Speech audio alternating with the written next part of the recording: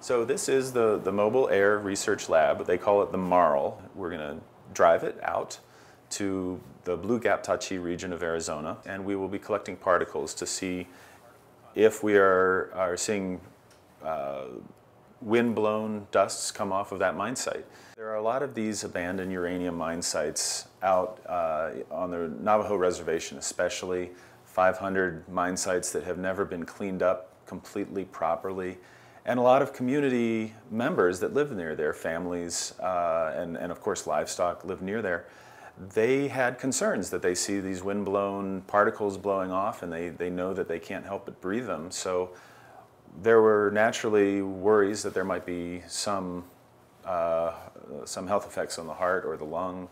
And we'll also be collecting all this information about where the wind's blowing to and, and from, and it'll tell us whether the, the uranium laden dusts are coming from that mine site or from ones much farther away.